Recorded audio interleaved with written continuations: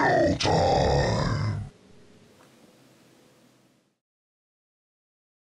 So Leute, willkommen zu einer hm, Ankündigung. Ja, sowas ähnliches ist es wohl. Ich möchte euch nämlich darüber informieren, dass am 28. Februar diesen Jahres ein offizielles Amiibo Team Turnier bei Nintendo of Europe in Frankfurt gehostet wird und das ist extrem episch. Ihr könnt euch nämlich dafür anmelden. Alle Links dazu findet ihr in der Videobeschreibung.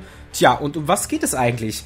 Wie bereits gesagt, ein Amiibo-Team-Turnier. Ihr könnt zusammen mit eurem stärksten Amiibo in einem Turnier gegen viele, viele andere Leute antreten und ja, wenn ihr Glück habt, werdet ihr ausgelost. Ich hoffe doch, dass einige von euch dabei sind.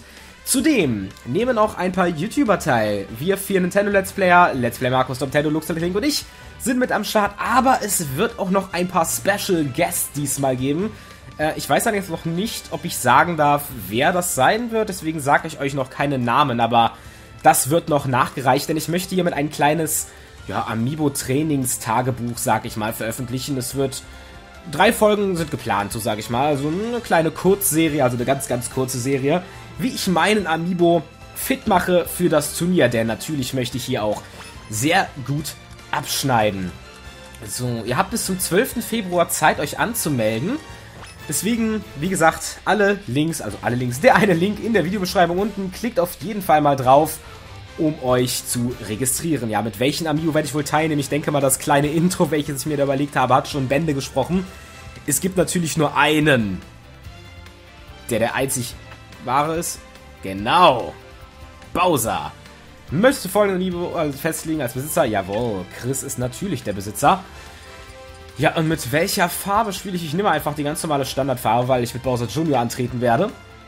Und das ist natürlich ja auch meine Standardfarbe, ne, weil er ja keine verschiedenen Kostüme hat.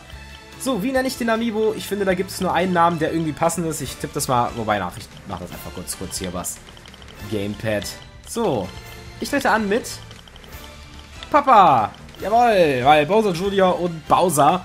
Ich mache hier quasi epische Vater-Sohn-Action. Und ich bin extrem gespannt, wie wir abschneiden werden. So, Hallöchen, Bowser. Das Gute ist, Bowser ist nach wie vor mein Second. Ach ja, stimmt. Einige haben es mitbekommen. Aber Meta Knight ist doch nur noch mein Third Main. Ich komme mit Bowser einfach besser klar. Und mittlerweile macht er auch einfach wieder viel mehr Spaß. Deswegen zurück. Back to the Roots. Bowser wieder mein Second. Ach ja, ich kann mich auch einfach nicht entscheiden. Ja, das Ausrüstung verfüttern. Ah, ich glaube, das werde ich jetzt noch nicht machen. Ich werde ihn jetzt erst einfach mal so erstellen. Und ich weiß auch noch nicht, ob ich ihm Custom Specials gebe. Und wenn ja, welche. Ihr dürft mit eurem Amiibo natürlich tun, was ihr wollt. Ihr dürft alles verwenden, was der Amiibo euch möglich macht. Ihr dürft Custom Specials nehmen, ihr dürft genauso aber auch Ausrüstung verfüttern. Das ist alles legal in diesem Turnier erlaubt. So, wie gesagt, das mache ich ein anderen Mal. So, wollen wir erstmal wieder abspeichern. Zack, Amiibo auf die Schaltfläche stellen und schon ist er verfügbar. Softwaredaten wurden gespeichert. Bitte entferne das Amiibo. Genau. Nun gut. Ja, was werde ich jetzt in dieser ersten Folge machen? Ich werde meinen armen Bowser jetzt erstmal ein paar Mal mit meinem Bowser verkloppen, damit er sich vielleicht ein paar Tricks abguckt. Ich habe mir schon ein paar Sachen überlegt, was ich machen möchte. Und ich bin gespannt, ob es am Ende Früchte tragen wird. Definitiv. So, Papa. Dann wollen wir mal kämpfen. Drei Versuche. Yo, das passt soweit. Ich bin gespannt. Gut, wo spielen wir? Wo spielen wir? Wir nehmen einfach mal eine neutrale Fläche. Und zwar, hoffen, na, vielleicht kriegen wir sogar unseren Endgegner-Theme. Das wäre ja extrem passend. Oh, greif an! Guck mal, er hat sogar direkt am Anfang Angriff gestartet. Ups, das sollte keine Special-Attack werden. So, ich bin gespannt. Er kriegt am Anfang noch ein bisschen mehr Schaden, wie mir scheint. Na? Komm schon, gib dir Mühe bei Freud. Ja gut, das ist Level 1, ne? Na, mal gucken, ob er mich mal trifft. Guck mal, er ist sogar ausgewichen. Oh, er hat Level Up. Boom, aber das hilft dir leider jetzt auch nicht. Okay, alles klar. Na, das ist Level 1, wie gesagt, dann sollte man nicht allzu viel erwarten. Die sind ja sehr lernfähig, das heißt also, ich bin gespannt, ob er sich so ein paar meiner Tricks abschauen wird. Vor allem, ich kann ja so ein paar nette Sachen mit Bowser. Mal gucken, ob er davon irgendwas übernimmt. Jawoll! Guck, ob er auch solche Sachen macht. Wow, der Perfect Pivot mit Bowser ist ja super. Oh, er hat mir einen Schaden gemacht. Ich bin zutiefst beeindruckt, mein Freund. Zutiefst. Na, kommst du einfach so hoch? Oh, wow. Gerade so nicht getroffen. Wir haben auch ideal darin, nicht zu treffen. Immer schön die Abbi machen. Einer von Bowsers besten Attacken nach wie vor. Zack. Oh je, oh je, Papa. Da müssen wir aber noch hart trainieren. ja, wie gesagt, in diesem Part werdet ihr erstmal sehen, wie er ordentlich kassieren wird. Ich möchte ihn jetzt auch nicht, ich möchte jetzt nicht komplett zeigen, wie ich ihn auf Level 50 bringe. Ich werde immer mal so reinschalten, sag ich mal. Damit ihr eine kleine Lernkurve sehen könnt. Also in diesem Part wird unser armer Papa Vermögen. Spielen wir mal auf Schlachtfeld. Ein bisschen die Stages rumprobieren, die höchstwahrscheinlich auch zur Verfügung stehen werden. Battlefield nach wie vor eine sehr direkt den Jab am Anfang, nach wie vor eine der besten Stages für Bowser, meiner Meinung nach.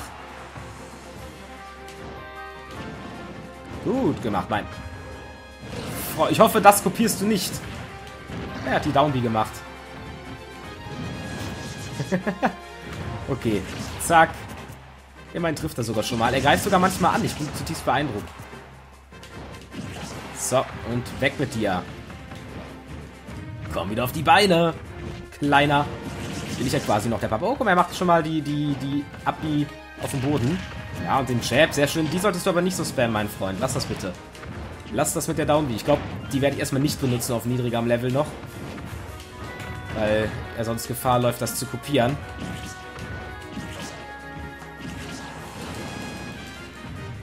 So. Hoffentlich gewöhne ich sie noch. Man kann, die Sache ist natürlich, man gewöhnt Amiibos Habits an, also Angewohnheiten, ne? sowohl schlechte als auch gute. Das habe ich zum Beispiel gemerkt, weil ich habe einmal meinen Pikachu-Amiibo gegen meinen Kirby-Amiibo antreten lassen. Und das Pikachu hat am Anfang nur Downbee, also den Donner, gespammt. Bis ich dann allerdings, ja, ganz einfach ihm beigebracht habe, indem ich gegen ihn gekämpft habe dass er damit nur bestraft wird und dann hat er es nach zwei, drei Kämpfen sofort wieder sein gelassen. Deswegen, ich finde diese KI echt beeindruckend, muss ich sagen. Und boom! Jetzt reicht sogar nicht. Ich habe das Gefühl, also klar, habe ich ja schon eben gesagt, ich kriege noch ein bisschen mehr Schaden auf niedrigeren Leveln. Allerdings machen sie auch umso mehr Schaden auf höheren Leveln. Und spielen wir gleich nochmal auf einer anderen Stage. Bowser! Wer hätte das erwartet? Amiibo lernen übrigens schneller, wenn sie verlieren.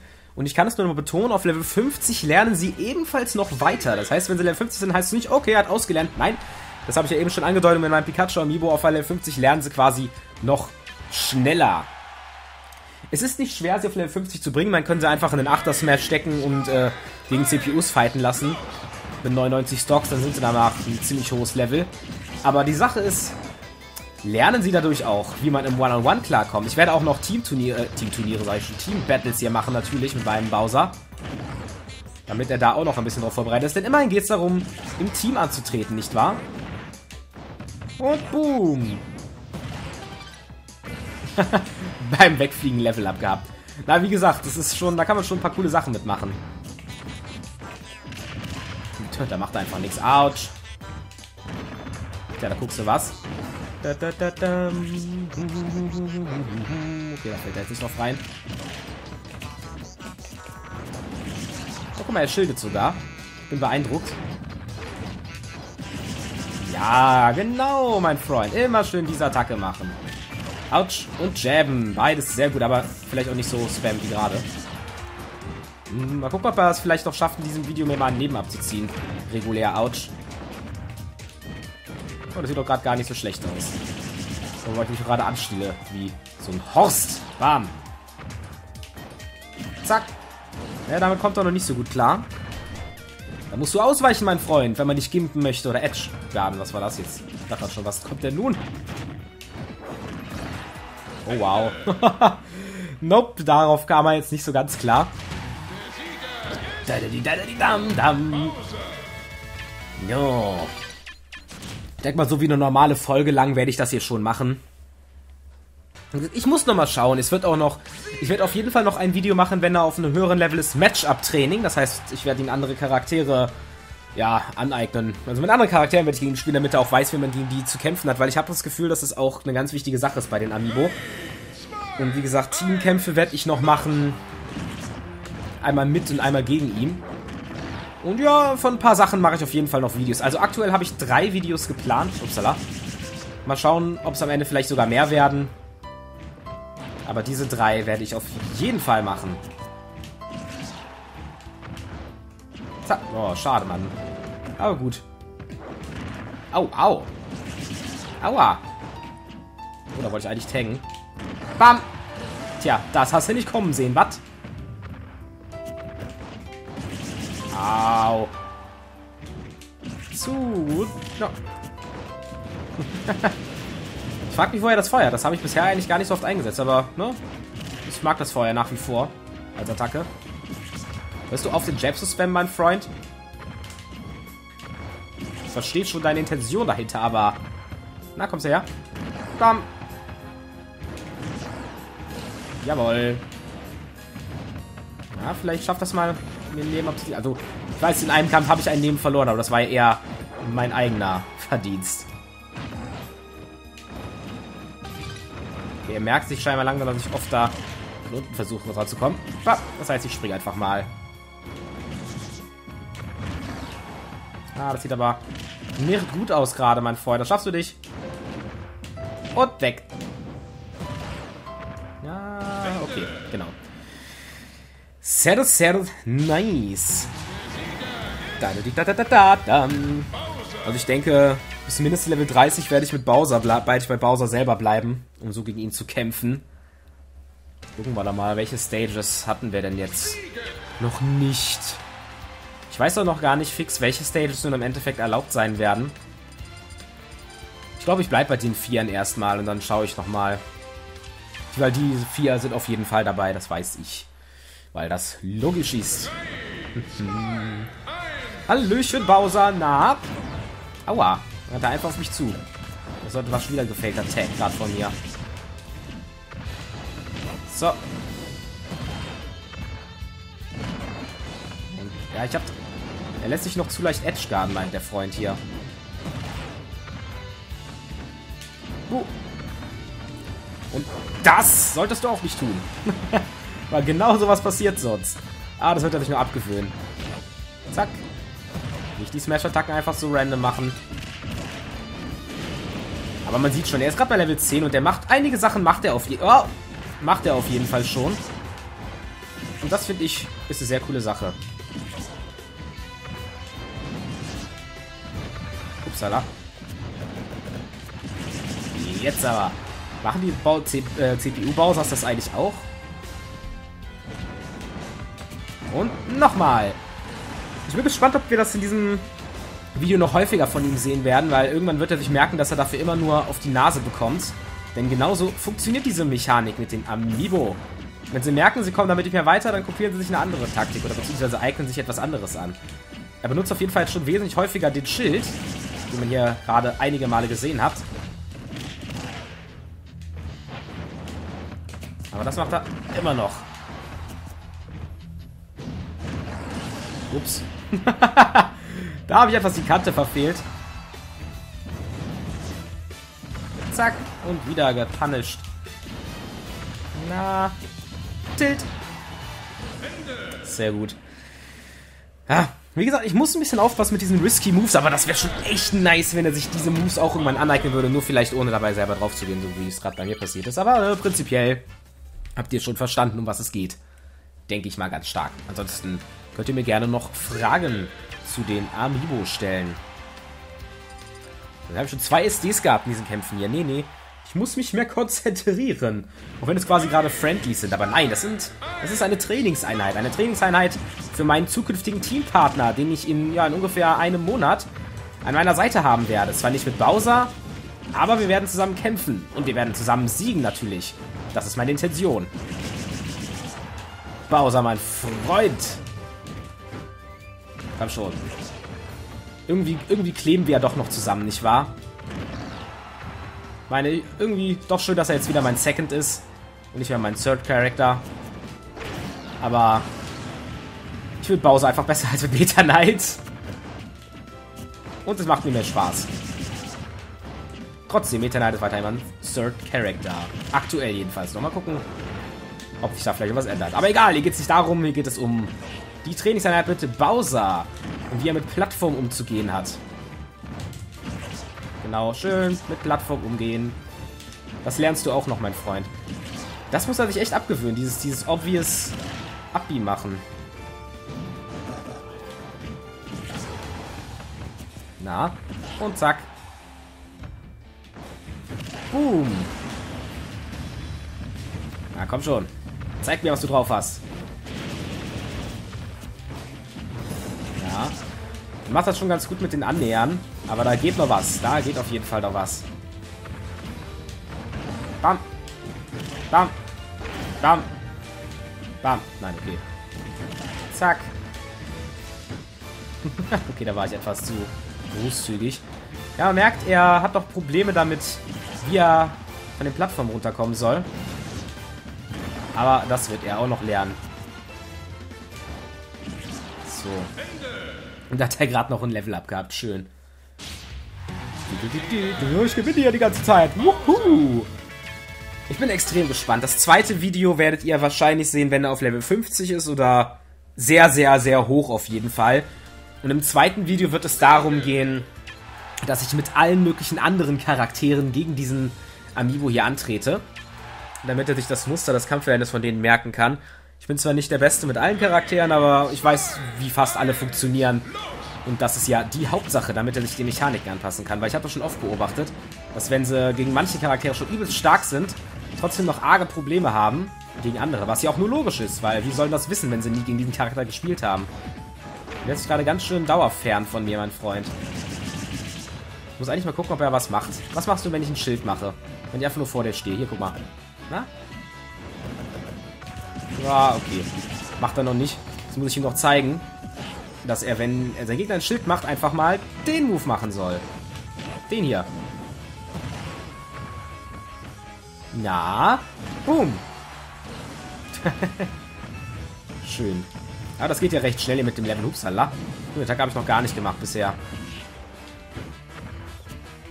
Aber die Attacke ist auch nicht wirklich in jedem Moment gleich gut anwendbar.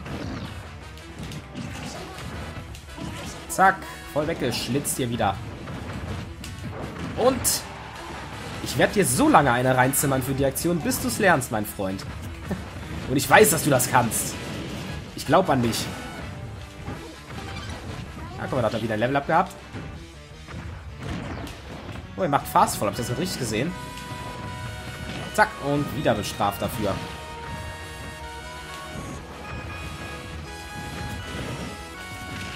So. Das lief jetzt aber nicht so gut für dich, mein Freund. Aber gut, ich weiß jetzt auch, was er mittlerweile für Sachen macht. Und er weicht aber auch noch nicht aus. Das heißt, ich muss da noch nicht besser predikten, sage ich mal. Und ich sag's dir doch. ich würde sagen, einen Kampf machen wir noch. Und dann soll es so erstmal für diese ja, für diese Einführungsfolge gewesen sein. Da hat er noch einen Level up gehabt. Schön. Vielleicht kriegen wir noch ein Level 15. Das wäre doch mal eine nette Sache. Oh, er ist Level 13 gerade geworden. Okay, alles klar. Ich dachte, er wäre schon Level 13 gewesen. Dann nicht. Ähm, genau. Hier, noch einmal.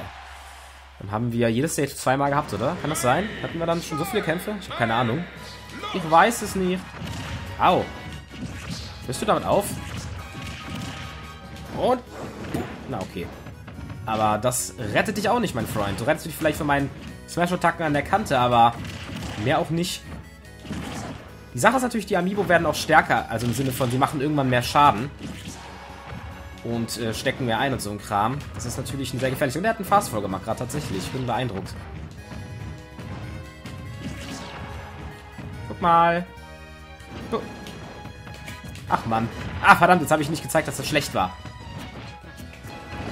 Wie gesagt, die sind da sehr, sehr anpassungsfähig. Und deswegen sollte man darauf Acht geben. Ich versuche die ganze Zeit gerade was, aber... Na, nicht einfach eine Smash-Attacke aufladen, wenn ich direkt neben dir stehe. Das ist nicht gut. Genauso wie das.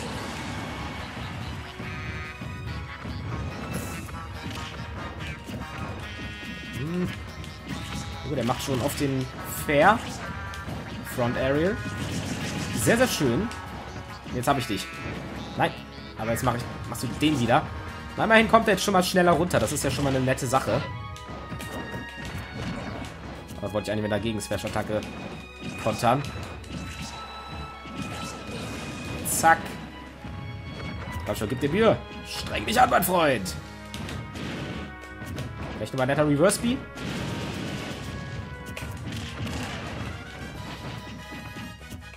Na komm, was machst du? Versuche ihn mal ein bisschen anzulocken. Mit diesem letzten Leben hier. Na komm, wie approachst du mich? Nein, so mich nicht. Genau, das kannst du schon eher machen. Autsch! Upsala. So, na. Ja, nicht schlecht, nicht schlecht. Immer schon aufs Acht geben, was ich mache. Ich rede mit ihm wie mit einem Menschen, aber es macht Spaß, muss ich sagen. Ich finde das lustig. Das ist echt cool. Na komm, und was machst du jetzt? Nein, das machst du nicht. Ich werde dich so oft jabben, bis du es lernst. Na? Nein. Und wieder daneben.